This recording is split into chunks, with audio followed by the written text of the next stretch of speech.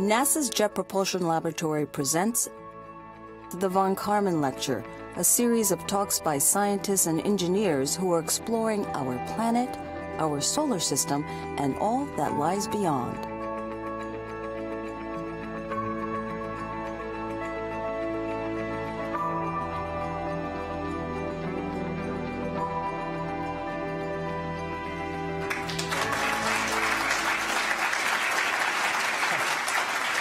Everybody. Well, welcome to our monthly public talk here at NASA's Jet Propulsion Laboratory. My name is Preston Dyches. Well, it's October, and Halloween is just a couple of weeks away. This is a time of year when we become acutely aware that there are things out there in the dark, things beyond our understanding. So, in the spirit of the season, we've prepared a talk for you about two of the most terrifying I mean fascinating, mysteries of the cosmos. These are the enigmatic dark matter and dark energy. We'll have a single talk tonight in which our two speakers will share the stage, and then we'll take your questions. And if you're watching the live webcast on YouTube, we'll work in a few of your questions from the chat as well. So, now to introduce our speakers. Our speakers this month are a unique pairing. Alina Kiessling and Jason Rhodes are both astrophysicists at JPL, where they are involved in a variety of exciting astronomy projects. Both have a history of using a technique called gravitational lensing to study dark matter and dark energy. She's worked on simulating it, while he's worked on measuring it. But what's really special is that these two gifted researchers were pulled together by, let's call it a mutual force of attraction. You see, they just happen to be married to each other. So we think you'll enjoy their take on the dark and mysterious forces at work in the universe around us. So please welcome Jason and Alina.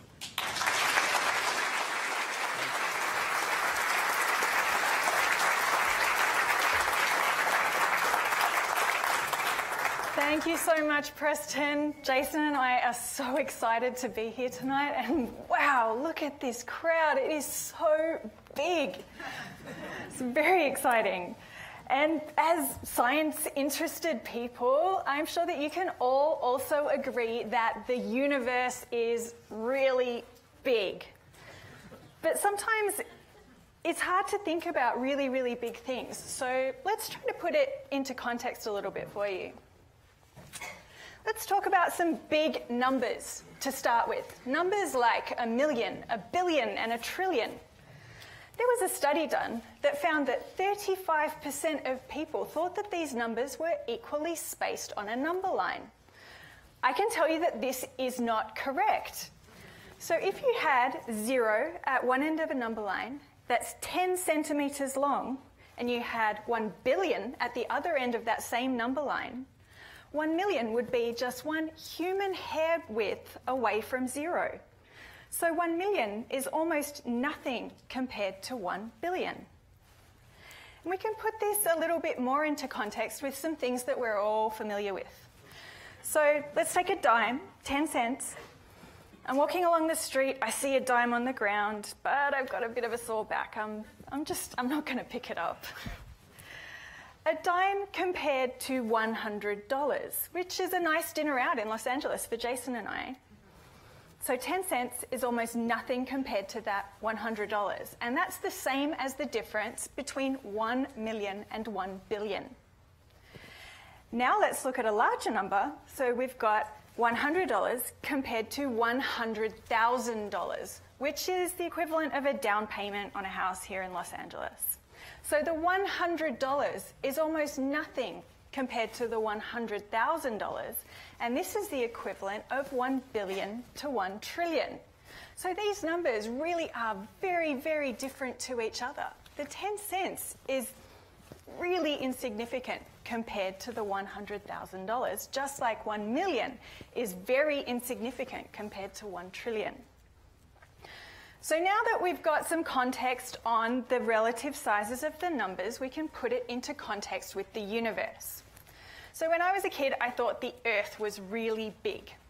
And my parents used to take me out into the desert of Australia and we were looking for opals. And one day I found an opalized dinosaur bone. This was really exciting for me and it started me on my career in astrophysics. And I wanted to learn how the Earth began and evolved over time. But then I realized that I wasn't really thinking big enough. Did you know that about one million Earths would fit inside the sun, our sun. And our sun is a star. And there are around 100 billion stars in a galaxy. And there's around 100 billion galaxies in the universe. So that's 100 billion galaxies times 100 billion stars, or 10 billion trillion stars in the universe. Now, that is an enormous number. I started to get an idea of just how big the universe was, and I knew that I needed to understand how the universe began and evolved over time. That's how I got into astrophysics. But as Jason's going to tell you next, this 10 billion trillion stars in the universe is really just a tiny fraction of everything there is. So Alina and I are cosmologists. Those are scientists that study the contents of the universe.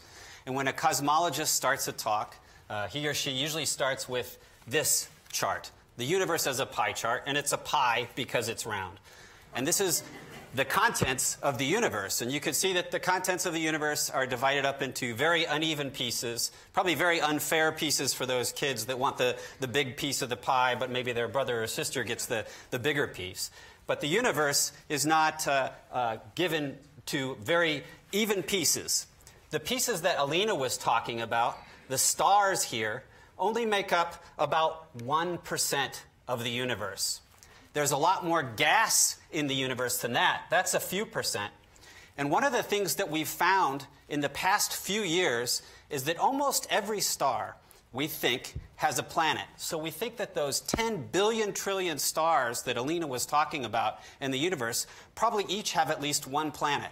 But those planets are such a small part of the universe, they don't even show up on this pie chart.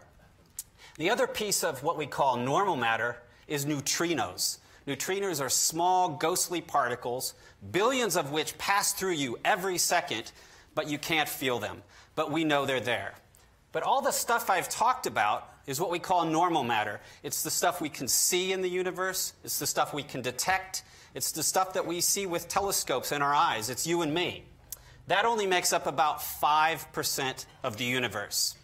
And we've known for the better part of a century now that most of the matter in the universe is dark matter.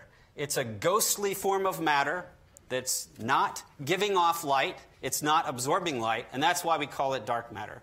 And when I went into graduate school in the 1990s, after college, I wanted, like Alina, to understand the contents of the universe. So I went to graduate school thinking, I'm going to figure out what this dark matter is. But a funny thing happened while I was in graduate school. Some of my colleagues, doing some work that we'll tell you about later in this talk, realized that the dark matter isn't even the biggest component of the universe. There's a bigger component of the universe that we call dark energy. So when I finished graduate school in 1999, like Alina, I realized the universe was much bigger than I thought, and I needed to think bigger. And so now I'm trying to figure out what the dark matter and the dark energy are. So we don't know what these things are. Let's talk about what we do know about them tonight, and we're going to start by talking a little bit about dark matter.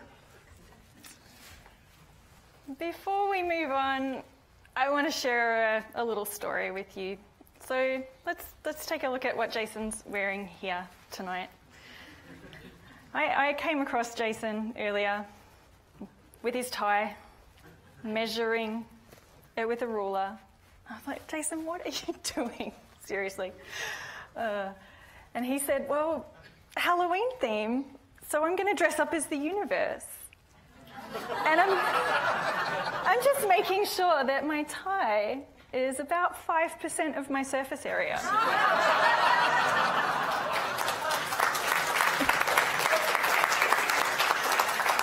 That's what it's like being married to a cosmologist. So let's talk about dark matter.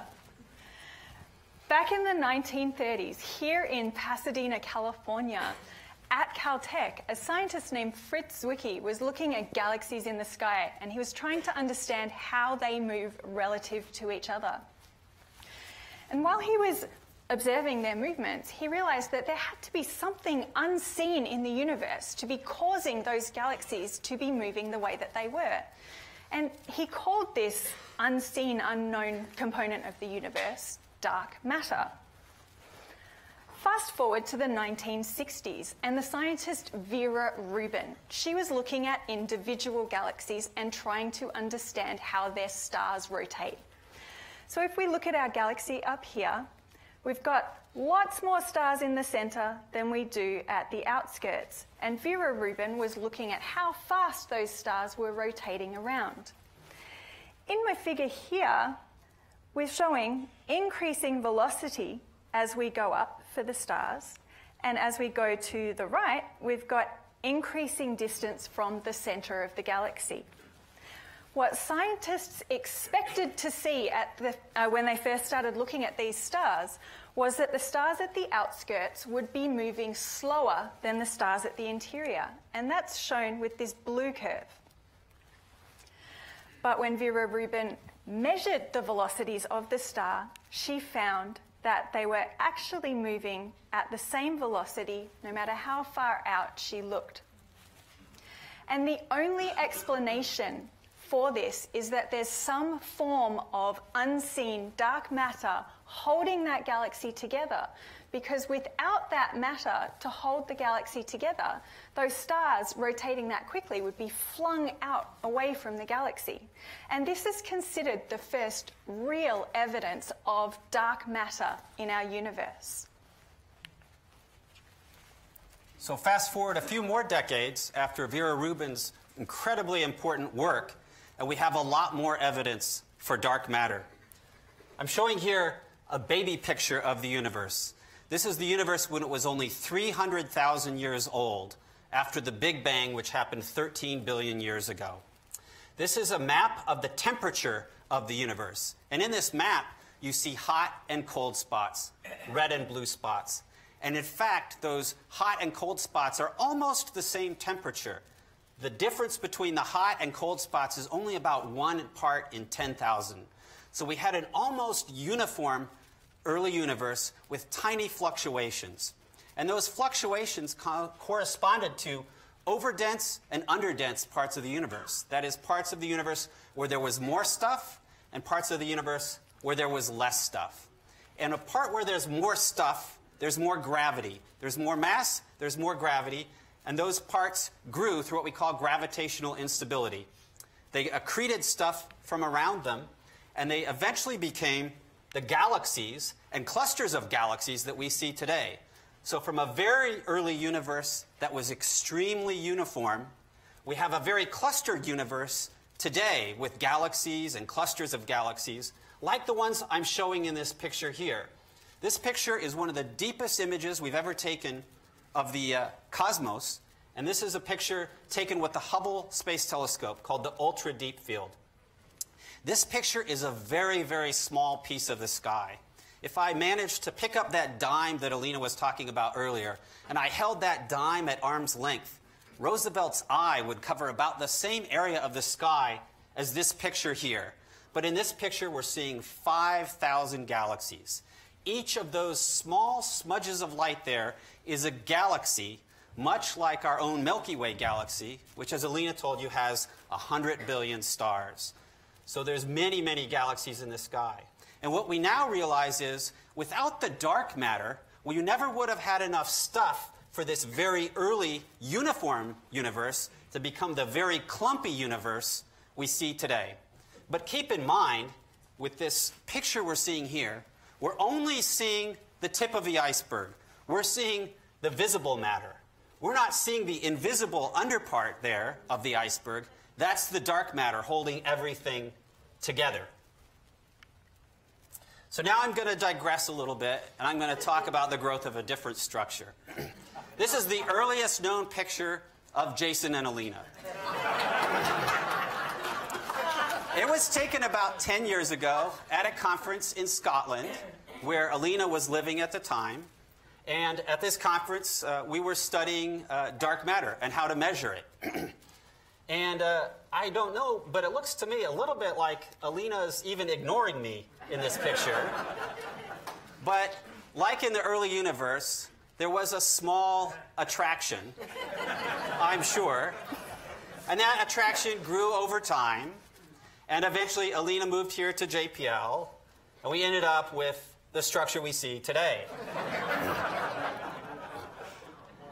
So I'm going to now uh, switch. You're here to hear about science, so I'm going to switch back and talk about science again. so I'm going to tell you about how we measure dark matter, since it's invisible. what I have here is a cartoon of how we measure dark matter. In cosmology, we measure distances with a unit called z. So we're here at z of 0. We're the observer. We're zero distance from ourselves. And here's our telescope. And we look at distant galaxies out in the universe. These distant galaxies that are of z about 1. And that might sound like a small distance, but how we do it in cosmology is a distance of 1 is actually about halfway to the edge of the visible universe. So this is a very distant galaxy. In the absence of anything between us and that galaxy, the light from this galaxy would take a straight path to us.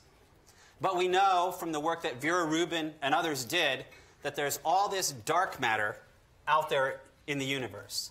And we're particularly sensitive with this technique to dark matter that's about halfway between us and the distant galaxy. Excuse me. One of the consequences of Einstein's theory of relativity our theory of gravity, is that mass bends space.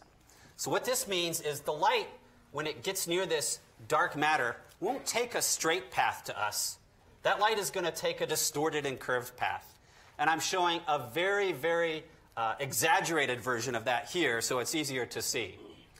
The consequence of this is that we will not see the galaxy as it actually is. We'll see a distorted version of the galaxy. So the dark matter between us, which we can't see, has distorted our image of this distant galaxy.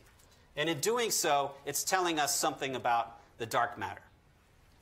Now, these distortions are usually quite small, but sometimes they can be quite large.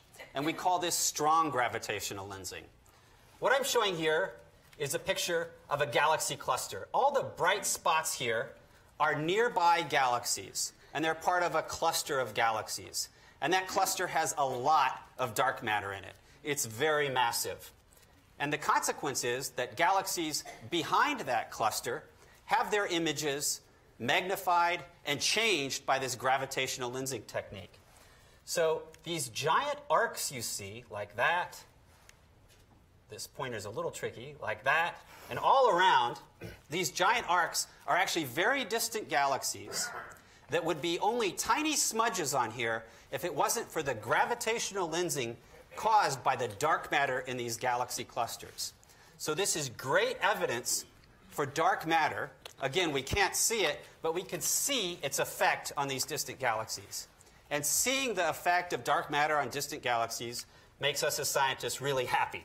and I have to I have to clarify here this is not an image that we created on our computer for this talk. This is an actual image taken with the Hubble Space Telescope of strong gravitational lensing.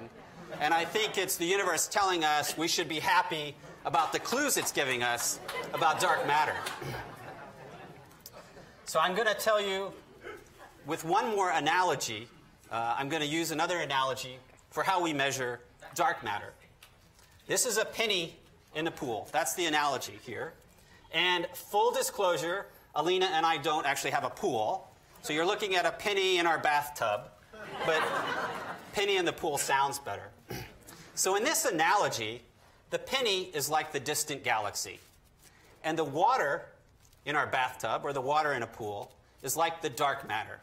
You don't see the water here, but you know it's there because you see the effect on the image of the penny. So what's happening is the light is coming to us from the penny, and it's taking some distorted path that changes our perceived shape of the penny so that we know the water is there. In much the same way as the light from a distant galaxy comes to us, takes a distorted path through the dark matter, and we see a distorted image of that galaxy. But we don't see the dark matter, we don't see the water. Now, you can uh, imagine that I can't tell very much about the water in my tub from just looking at this one penny. But if I had a big pool and I threw thousands or perhaps billions of pennies at the bottom of the pool, I could tell a lot about the water in that pool by looking at how the shapes of those pennies appeared to me. I could tell the density of the water and how much water there was. And in the same way, in the 2020s, we're going to launch uh, some telescopes into space and we're going to use some telescopes on the ground that are going to measure billions of galaxy shapes across the universe. And that's going to tell us a lot about the properties of dark matter. That's how we're learning about dark matter now, and that's how we're going to learn about dark matter in the future. So we've talked a little bit about dark matter, but that's not the biggest component of the universe, as I found out when I was in graduate school, and as my colleagues found out when I was in graduate school. So we have to think bigger. So let's talk about dark energy. All right, so what's dark energy?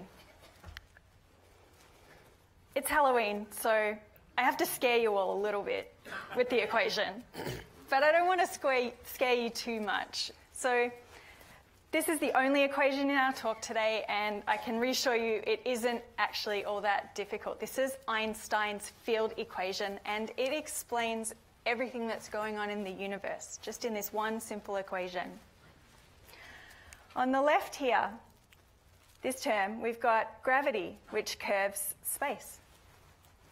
On the right, we have all the stuff in the universe the matter and the energy. Now, keep in mind, this is at a time when Einstein was coming up with this that they knew about normal matter and they knew about dark matter. So that's the kind of stuff that Einstein was thinking about. And around that time, his, Einstein and his colleagues thought that the universe was static. That is, it wasn't collapsing and it wasn't expanding. And so, in order to keep the universe from collapsing in on itself under gravity because of all of the stuff in it, Einstein introduced what he called the cosmological constant. And this was supposed to hold the universe up against collapsing in on itself. Fast forward a few years, and we've got uh, Hubble. Edwin Hubble. He's here in Los Angeles and he's working at the Mount Wilson telescope, which is in Los Angeles. Hubble was interested at looking at galaxies in our universe and determining what velocity that they were moving. So on this figure here, we have distance increasing away from us as we go right and velocity increasing as we go up. And what Hubble was able to see when he was looking at these galaxies is that no matter what direction he looked, the further away a galaxy was, the faster it was moving away from us. And the only explanation for this is if the universe is expanding. Totally blew everyone's mind. So, after this amazing work that Edwin Hubble did, scientists launched a telescope and named it in honour of him, the Hubble Space Telescope. And I'm absolutely certain that everybody here has heard of this amazing telescope. One of the projects that the Hubble Space Telescope continued was exactly what Hubble started. It looked at distant galaxies and it determined how fast they were moving. And the data in this figure that I'm showing here is encompassed, Hubble's data is just that first tiny little bit of this figure. So the Hubble Space Telescope has shown that further and further away, it is still true that the galaxies are moving further, uh, faster away from us. So the only explanation for this is that the universe is expanding. And so, in an expanding universe, you no longer have to hold the universe up from collapsing under gravity. and we don't need a cosmological constant. Einstein called this the biggest blunder of his career. He struck it from the record. He's looking pretty sad there. Poor Einstein. Well, there's two ways that uh, an expanding universe could behave over time. On the left, I'm showing an expanding universe that expands for some time after the Big Bang here in the past and eventually collapses in on itself under its own gravity at some time in the future. And we call that the Big Crunch. So that's one possibility. If there's enough stuff in the universe, that the universe would eventually collapse in on itself because of gravity. Another possibility is an expanding universe that keeps expanding forever, but expands slower and slower. That is a universe that starts out expanding quite quickly after the Big Bang, but gravity tends to slow the universe's expansion down. An analogy I want to use for that is our very own Voyager over here. This was launched some 40 years ago. Not this one, this is a model, of course, uh, by JPL. And it left the Earth's gravity, and it eventually left the solar system a few years ago. So the Voyager, like this expanding universe, is going to keep moving away from us forever, but it's always slowing down. And it's always slowing down because the sun is always tugging on it a little bit. So in this expanding universe here, we have an expansion that's slowing down under the force of gravity. So I'm going to use another analogy here. And I swear this was full before the, uh, before the show. But the expanding universe that eventually collapses in on itself is like this you throw it up, and it comes down. That's how we know gravity works in our daily lives. So that's this character here. This is the expanding universe that collapses in on itself under gravity. The second fella or woman here that's throwing a ball is throwing the ball that's going to keep going away but slower and slower. That's the other expanding universe. An expanding universe that expands forever but is slowing down the whole time. So in the 1990s, there were two groups at the same time in the world trying to understand which of these scenarios was correct and how fast the universe was expanding and how fast it had expanded in the past. And both of those groups found an answer. And that answer was a universe that looked like this a universe that was expanding, but faster and faster. Much like Hubble's mind was blown, cosmologists' minds were blown in the uh, 1990s when they realized that the universe did not have an expansion that was slowing down due to gravity, it had an expansion that was speeding up due to something else. And so we have to have a third diagram.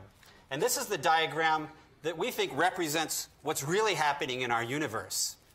That's a universe that started out at a big bang. It started out expanding somewhat slowly. And as time has gone on, it's expanded faster and faster and faster and it looks like it's going to keep expanding faster and faster in the future. So we don't know why that is. And we gave the name of whatever's causing that dark energy. So another way to put it is dark energy is the name we gave to our ignorance of whatever is causing this ever increasing uh, rate of expansion of the universe. So now we have a universe that is not only expanding, but it's accelerating in its expansion. So something needs to happen to Einstein's field equation in order to accommodate this accelerating expansion.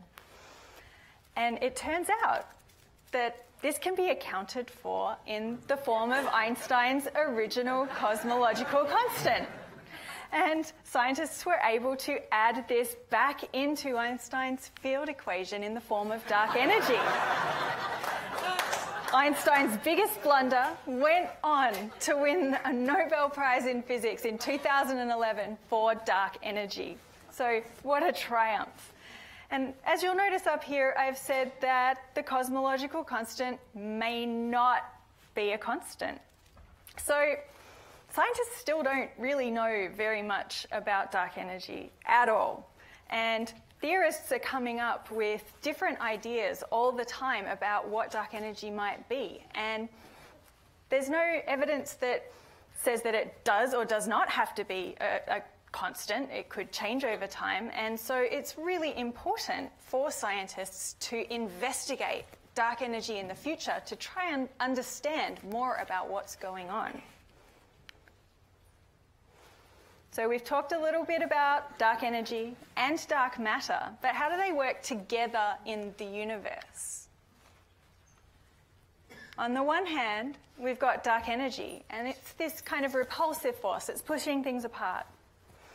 While dark matter is an attractive force, it's bringing things together. Dark energy affects the speed at which the universe expands, and we now know that the universe is accelerating in its expansion. While dark matter affects how clustered objects like galaxies are. Dark energy causes everything to move away from everything else, while dark matter causes objects like galaxies to want to move toward one another. So there's this real push and pull going on between dark matter and dark energy in the universe. And so scientists need to investigate the universe over time in order to see what's going on with the clustering and the expansion of the universe over time to try and understand more about both dark matter and dark energy. So, how are we going to measure dark energy in the future? Well, it turns out that gravitational lensing technique that we talked about earlier is one of the primary ways we're going to measure dark energy in the future. And so on the left here, I'm showing a very stylized view of how this gravitational lensing works. We've got these distant galaxies, and you can sort of see the ghostly dark matter. And as the light from those distant galaxies comes to us through that dark matter, the shapes of those galaxies are changed. And again, this is an exaggeration. We don't usually see shape changes this strong, and the shape changes occur over very, very long time periods, so we wouldn't see it changing like this. This is just to give you an idea of how we're measuring that dark matter. And what we do is we look at the dark matter at different times in the history of the universe. And this tells us how the dark matter is evolving. So, one of the things that we did about 10 years ago, some of my colleagues and I, is we used the Hubble Space Telescope to make the map of the dark matter in a very tiny area of the sky.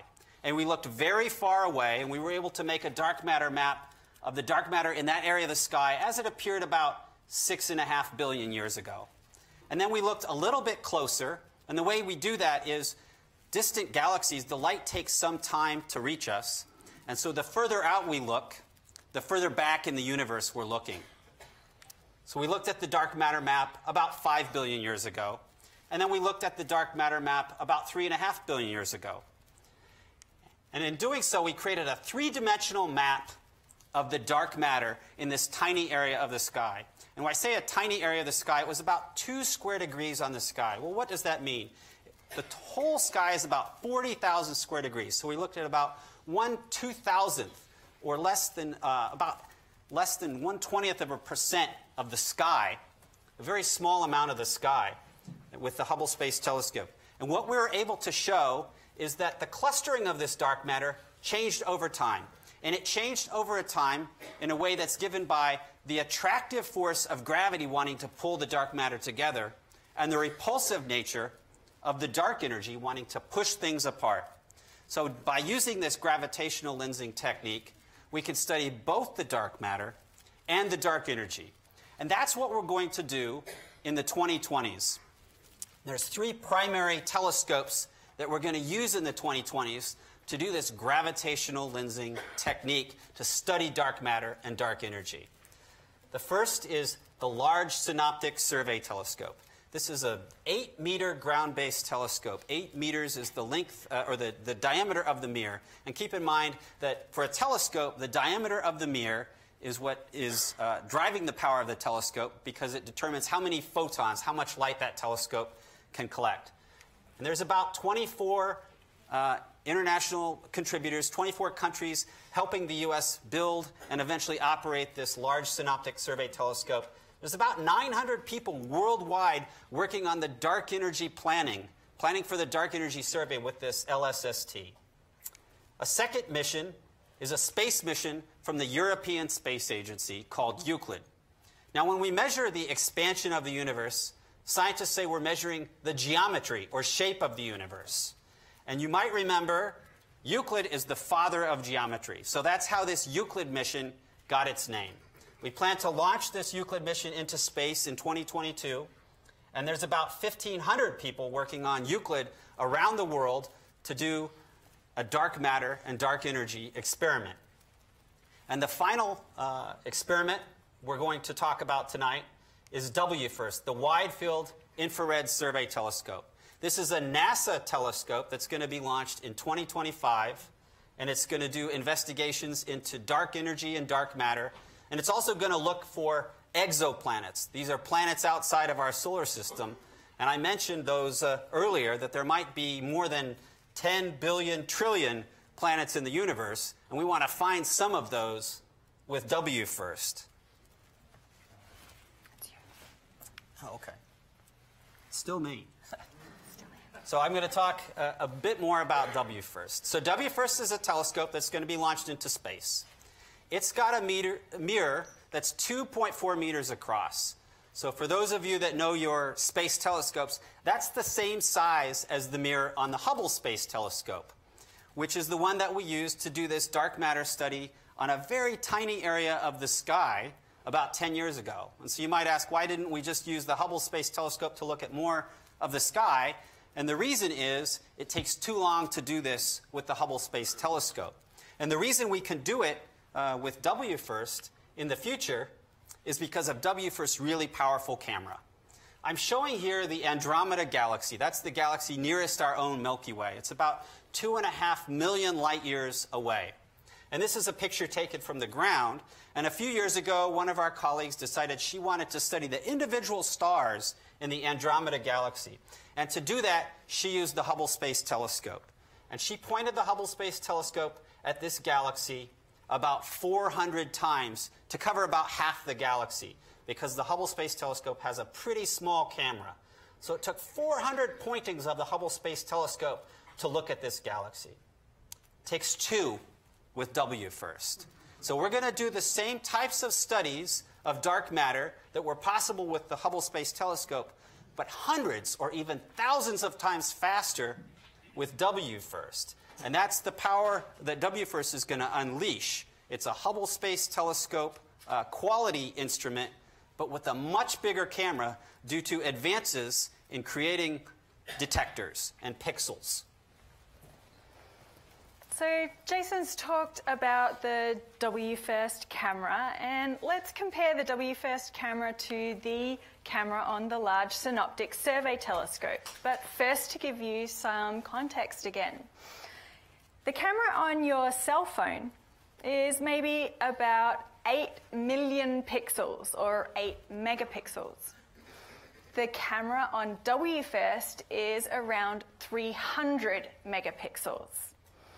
And the camera on the Large Synoptic Survey Telescope is around 3,000 megapixels or 3 gigapixels. So this is just enormous.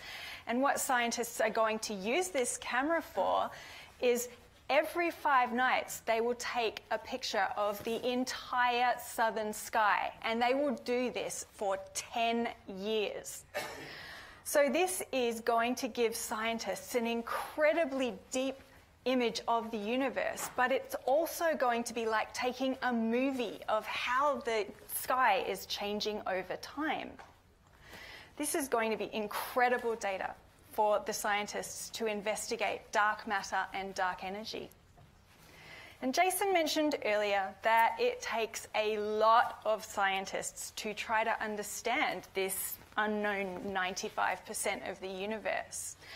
And the Euclid Space Telescope, some of the scientists got together earlier this year in summer in Helsinki in Finland, and we were working together getting ready for the Euclid Space Telescope, which will be the first telescope entirely dedicated to investigating dark matter and dark energy.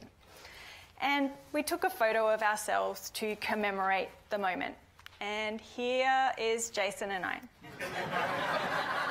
and uh, notice Jason is not looking at the camera because he's looking at his phone, doing emails. this is also what it's like being married to a cosmologist. So I looked at this photo and I realized something interesting. These are the scientists from Pasadena who attended this meeting. And I worked out that the scientists from Pasadena make up the 5% normal portion of the scientists in Euclid. So maybe you're asking why are we doing three different experiments to investigate the same thing in the 2020s? And it's a good question, and we get asked it a lot. So, dark energy, I think I've told you, we, we really don't know what it is. Scientists have no idea. I think you now know as much as I do about dark energy. You can pick up your PhD at the door. And so, in order to try to understand what's going on with this, uh, this really un- difficult concept, it takes uh, a lot of different investigations. And so it's really useful to be able to cross check between the different experiments to understand what's going on. And each of the experiments that Jason and I have talked about this evening have their own uh, special skills and they're highly complementary with each other. So the Euclid Space Telescope is going to be in space which means it's above the Earth's atmosphere. And Jason told you that we want to measure the shapes of the distant galaxies. I'm sure you've all heard about the song Twinkle, Twinkle, Little Star. On Earth, stars twinkle because the light from those stars is traveling through the atmosphere of the Earth, and that's causing them to twinkle. But if you get outside of the atmosphere, then those stars are very precise. And so, getting outside of the atmosphere enables scientists to measure the shapes of these galaxies very precisely. And Euclid is going to do this over a very wide area 20,000 square degrees. The Large Synoptic Survey Telescope, however, is on the ground, so they have to deal with the atmosphere when they're trying to measure these shapes. However, LSST is going to measure the entire southern sky every, night, uh, every five nights for 10 years, which will enable incredibly deep images of the universe. We'll be looking much, much further back in time. And so we're getting the uh, evolution of what's going on with the dark matter and dark energy over time. And finally, WFIRST, which will launch in 2025, has been designed to be the most precise camera. It's going to take the sharpest images and it will take the deepest images as well. So, by combining and comparing these three experiments, scientists are going to be able to make sure that we really understand what's going on and confirm any new exciting discoveries. So, we've told you a bit about how we're going to measure dark energy and dark matter in the 2020s. And you still might wonder, well, why do we want to measure that? Well, I think honestly, for Alina and I and a lot of our colleagues, is we're curious. We want to understand how the universe works.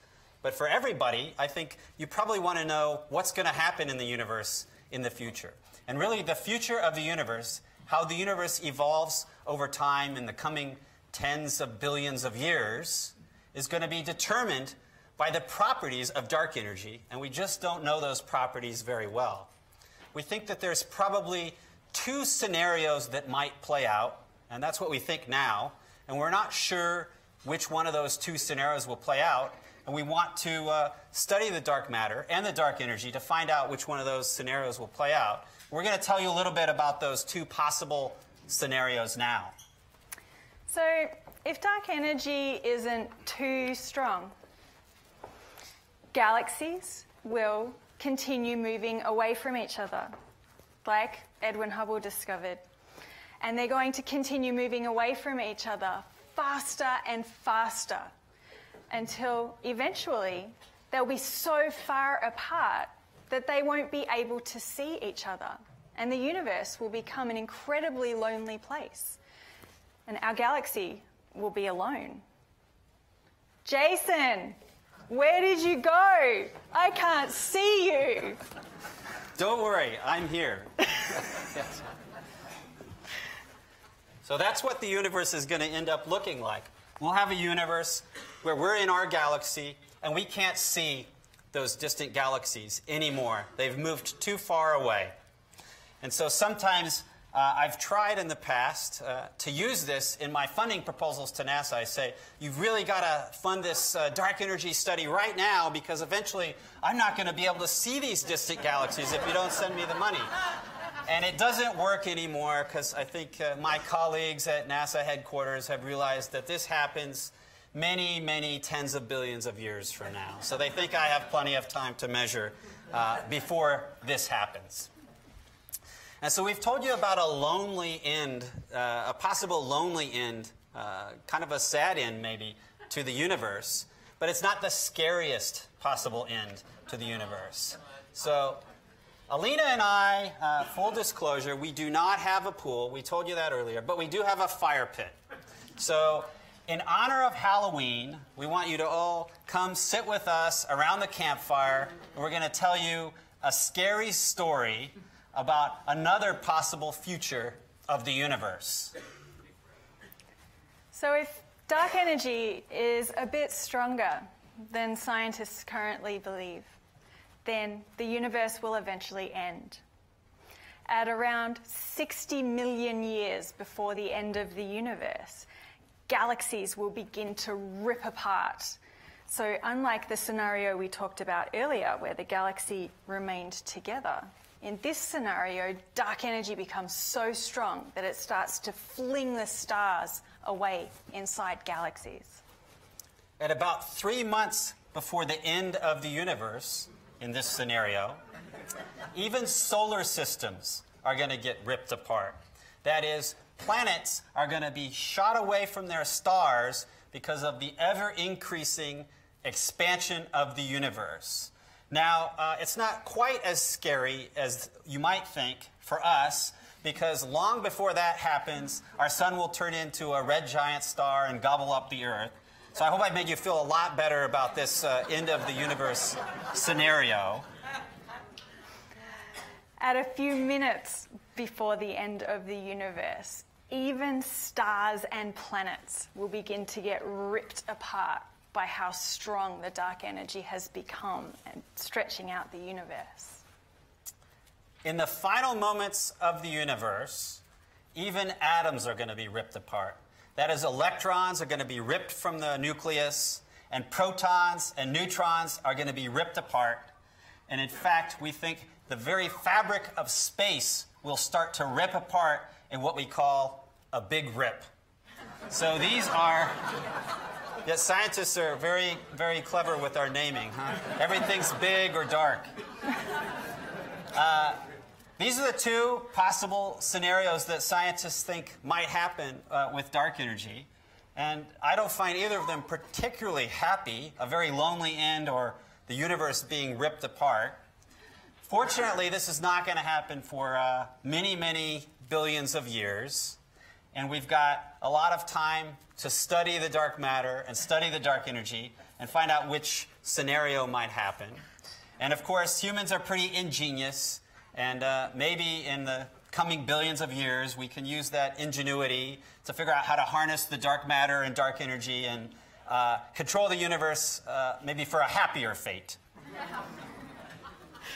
So, Jason and I really want to thank you all so much for being here with us tonight. It has been an incredible privilege for us to talk to you about the dark universe, and we would be delighted to take some of your questions. Thank you all.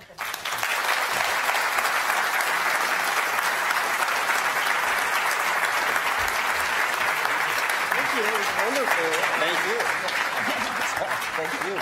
And we want to thank Preston. No, he put this all together. I helped Yeah. out. I did a few things. Uh, you guys can go ahead and head towards center stage here, and we'll get set up for our Q and A. Um, Uh, so yeah, you guys can wander on over there. Uh, that was a really great talk because I think a, a, lot of us find these topics really mysterious, and we don't even uh, we, we need that kind of primer to help us get just our basic bearings on something so mysterious. Um, well, uh, now it's time for your questions. Uh, if you have one, please come to the microphone. I see fo- some folks lining up uh, in the center there. So uh, if you submitted one on the YouTube chat, we'll get to a couple of those as well. So we're all set now. Go ahead with your question. Thanks. Um, if all mass has gravity and all matter has mass, do you know any way to figure out how much mass and gravity dark matter has? So we were asked do we know any way to figure out how much mass and gravity dark matter has? And the answer is yes. We know only one way to figure out how much mass uh, dark matter has, and that's through this gravitational lensing technique that I talked about tonight. That's our only way of measuring the dark matter because it doesn't give off light and it doesn't absorb light, so we have to look at it indirectly through its effect on these distant galaxies. So that's the technique we use to figure out how much mass dark matter has. Okay. All right, so I actually have two questions. One, do you take interns? yes, we do. yes, we, we do. Absolutely do. Okay, and starting in December, contact one of us. All right. Uh, and number two, how does the heat death theory factor into all of this? I, I don't know the answer to oh. that, so I'm going to give it to Jason. so heat death theory says that uh, stars will eventually burn out. They'll burn their uh, burn their fuel up, and the uh, eventually will become universe will become colder and colder and colder and and and uh, more diffuse and more diffuse. And that's the uh, future of the universe that we thought might happen before we discovered the uh, dark energy. So that's a future of the universe that this ever expanding universe that was expanding slower and slower and slower, it just kind of peter out. But with the dark energy, we think there's likely different scenarios uh, for the future of the universe. All right, thank you. Mm -hmm. And yeah, if you want to if you want to look into internships, go to the JPL website. You can uh, find information there. We do take interns.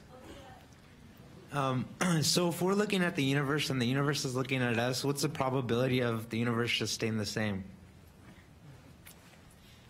So the question is, uh, we're looking at the universe, and the universe is looking at us, and what is the probability of it staying the same?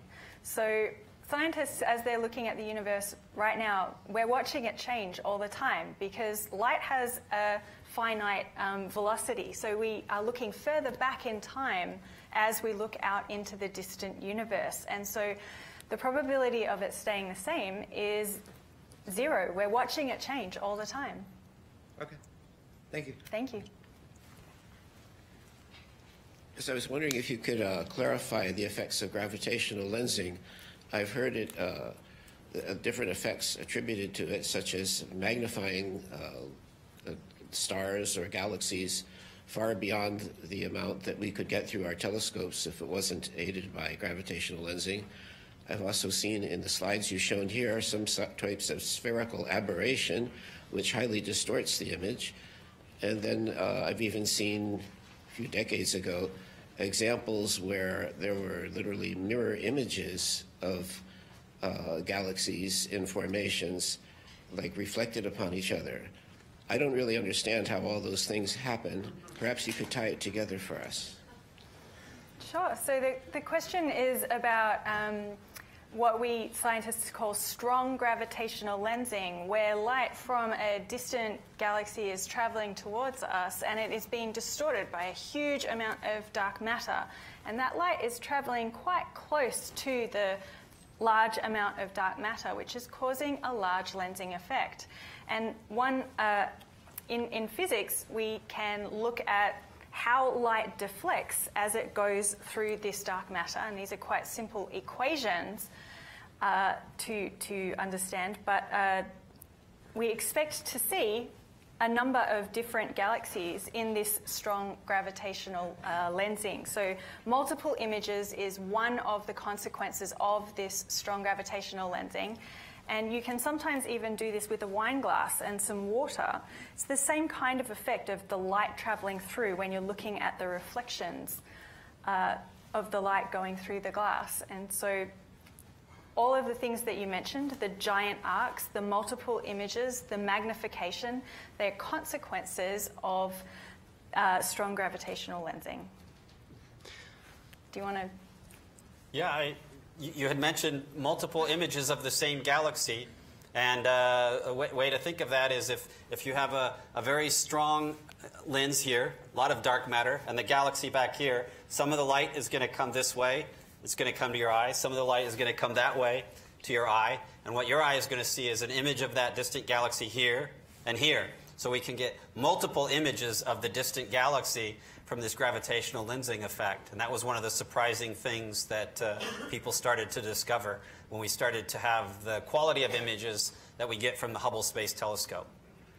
So then the effect depends on the line of sight and the relative position of the dark energy or that, that's exactly right. It depends on the line of sight uh, and the, the relative positions of the dark matter and the distant galaxy. So we know something about where the, the dark matter is in clumps relative to uh, the totality of space? We do know where the dark matter is because we can back that out using these equations when we see these gravitational lenses. So it's using these gravitational lenses that's how we measure where the dark matter is and how much there is. Does it correlate with any other visible objects in the known universe? The position of the dark matter, it turns out it correlates quite well, usually, with the position of the luminous matter, the normal matter, the stuff we see. And that's because the dark matter forms sort of a well where the normal matter collects. It's like a gravitational well. The normal matter collects where there's a lot of dark matter. Okay, we're going to move on to one of our questions from YouTube. Thanks very much.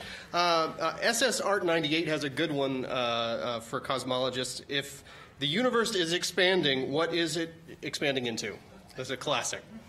It's a, it's a real classic question.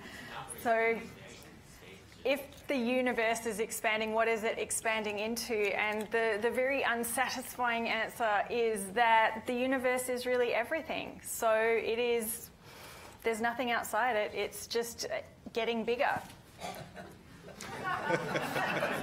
Sorry, do you have a better way of saying it? We're just getting more universe. It's, uh, it's something that's very difficult for our minds to, to get around because we can only think in the, the three dimensions we see.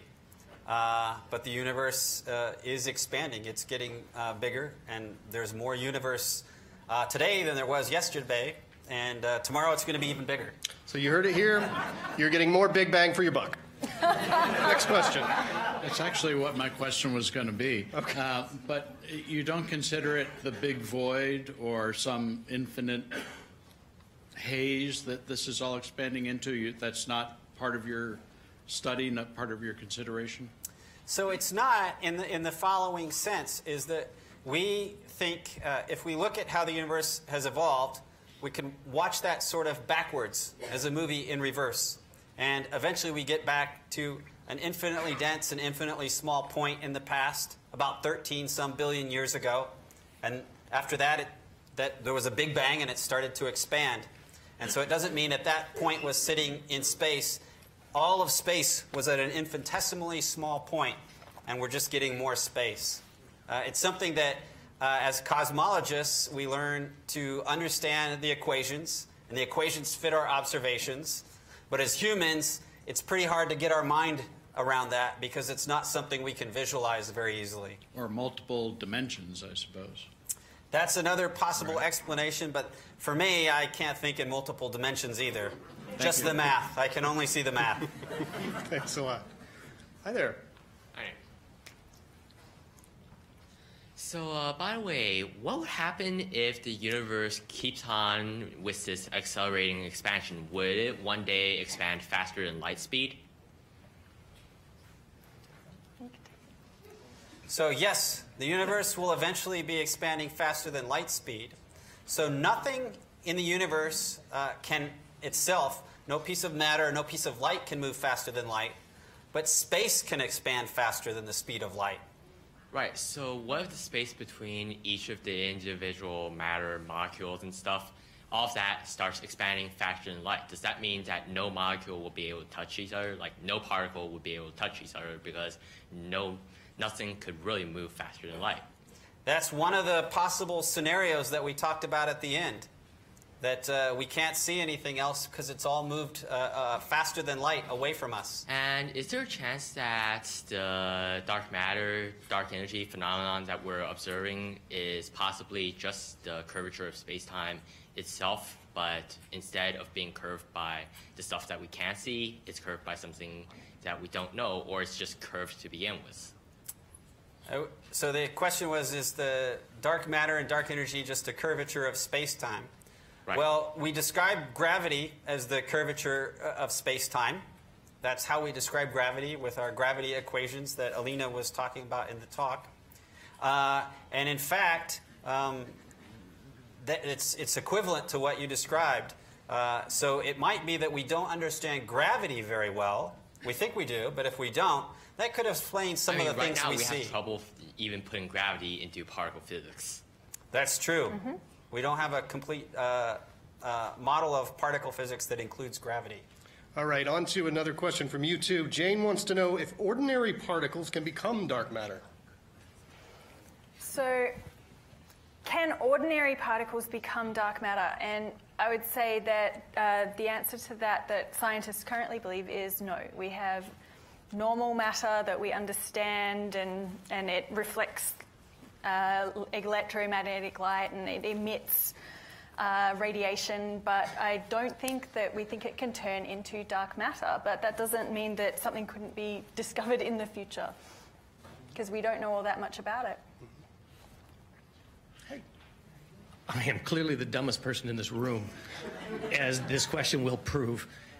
I want to follow you, and I'm mostly there. But if I understand what you're saying, there's a distortion that we're seeing, and so we're assuming it's dark matter. Is there any other theories, or does the math just say, nope, that's it? So we're seeing these gravitational lensing distortions, and the question is are we assuming that this is dark matter, or are there other theories that could explain it? And for a long time, there were lots of scientists that wanted to come up with a modified theory of gravity that didn't need an unseen form of matter. And over time, there were lots of experiments that scientists were undertaking, and they were able to rule out all of these other theories that did not include dark matter. And so at the moment, the only theories that work are the ones that include dark matter. But there's no way to actually detect it or prove it. It's just Yet. we're si- yay, okay. Yes. They're working on it. Hi, um, I have a question. If after the Big Bang, all of this m- matter, which was essentially, essentially particles, gradually accreted into planets and suns and galaxies and galaxy clusters, and if dark matter is really little particles that we can't see, shouldn't it have done the same thing, and shouldn't it be concentrated in all the galaxies and stars? So Why, question- why is it in between the galaxies and not in the galaxies? The question is about uh, how the dark matter is um, is distributed throughout Right. the universe, and um, and uh, I can let you know that uh, the dark matter is actually clustered at the centers of the galaxies, and scientists believe that the density of the dark matter at the center of a galaxy is much higher than the density at the outskirts of the galaxy. When we do simulations of dark matter with a computer, we get these beautiful um, uh, clustering of the dark matter in what we call a big cosmic web. And where we would expect to see a galaxy, there's this high density of dark matter. And you can trace it along where you expect to see the luminous matter. So, really, the luminous matter is falling into the center of these dense dark matter areas. Okay, thank you. And one other little anecdote. Is it true that when they discovered that the Hubble constant was wrong and the universe was accelerating, that there was a headline that said, uh, Hubble double, universe in trouble? There should have been. okay, so Derek on YouTube asks if dark matter has an electrical charge. Do we know enough about it to say that? We do. So, dark, an electrical charge comes from the electromagnetic interaction. And so, Right now, our best guess for dark matter is that it does not interact at all through the electromagnetic interaction. So it has no electric charge. In fact, we think the dark matter only interacts gravitationally. It doesn't interact in any other way. That's what we think right now.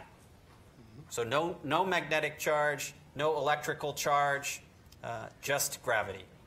And was that question, sorry, about dark matter or dark energy? It was about dark matter, Yeah, whether the okay. dark matter has the, the charge. So- Perfect.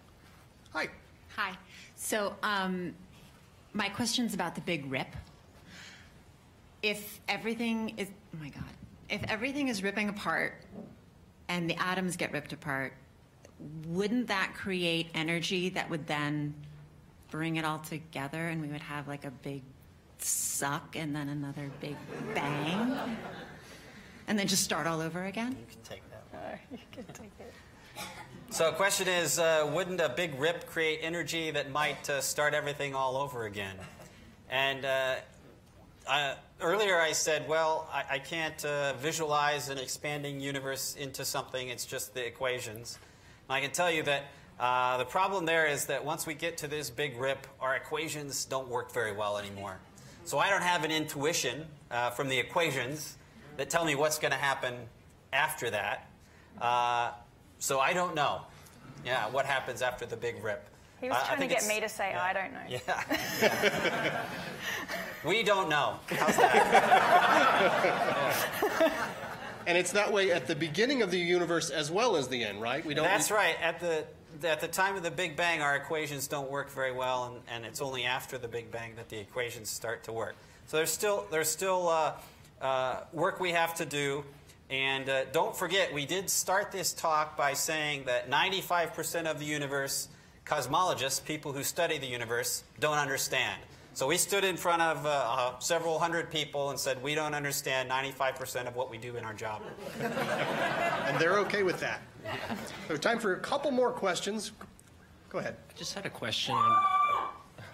I just just had a question on axions. Um, what, in your view, is like the hypothetical particle that dark matter or dark energy consists of, like neutralinos, um, WIMPs, or what? What? Uh, could, if you could expand on that, thanks. You're a plant from Caltech, aren't you? No. Just kidding. Yeah. Uh, so you asked, what do we think dark matter is? And right now, uh, the, uh, the theorists on this are somewhat unconstrained by the data. And what I mean by that is.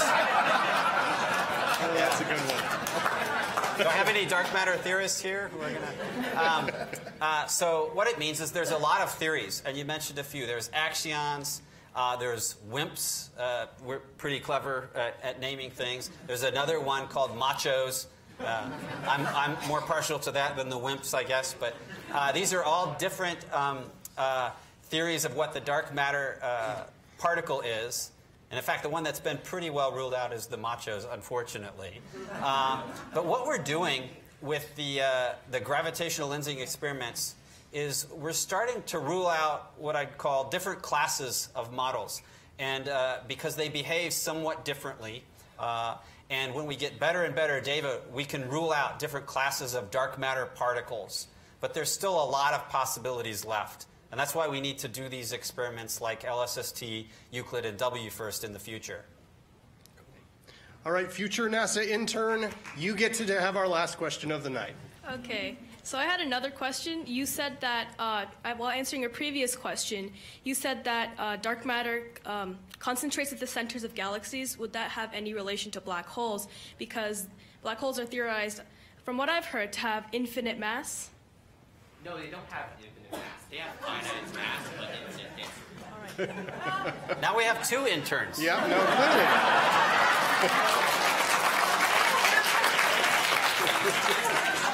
Come on down.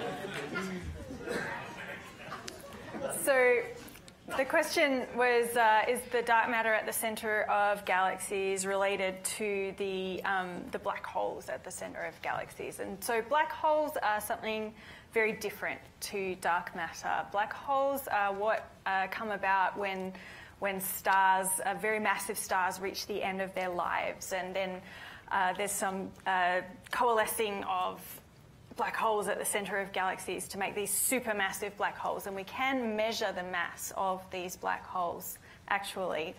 Uh, and, uh, and as was very helpfully mentioned, they, um, they have a finite mass but an infinite sort of density, and so the light can't escape from that mass. And so they're unrelated to the dark matter in the center of those galaxies. All right, thank you. So they're dark matter, but they're not dark matter. Sure. All right. Well, that's all the time we have mind if I uh, ask for one this, more question? and we can we can uh, have some We'll be here discussion for a while, right after so the you show, can- and yeah. we come on up and, and we can continue this discussion. But for our audience at home, uh, thanks for joining us. Uh, thanks to everyone for being here. Thank you again to our speakers.